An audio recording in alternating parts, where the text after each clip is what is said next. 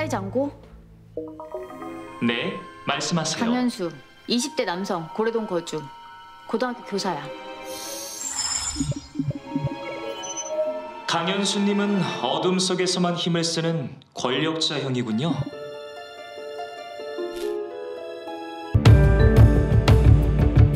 아, 이런 미친 진짜 이런 새끼 진짜 이런 진짜 다 잘라버려야 돼 이런.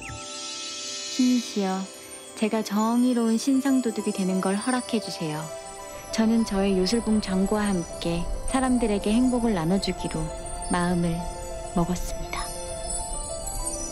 당신 남친은 온라인 대화에 관심이 많네요. 굉장히 많은 미성년자들과 얘기를 나눈답니다. 친구부터 하는 게 어때요?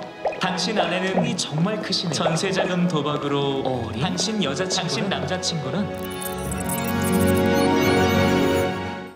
네 능력은 대체 어디까지인 거니? 어떤 데이터까지 갖고 있는 거야? 고양이 데이터도 갖고 있나? 며칠 전 고래 소방서 소방관이 잃어버린 길고양이야. 다쳤는지 상처가 있고 얼핏 봤지만 아주 잘생겼어. 한 달이나 쫓아다녔는데도 잡기 힘들다는 거 보면 키야. 종잡을 수 없는 앤가 봐. 아 그새 또 어디 갔다 왔어?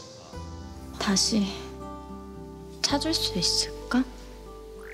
검색이 불가능하군요. 데이터가 없습니다. 동물 데이터는 없구나.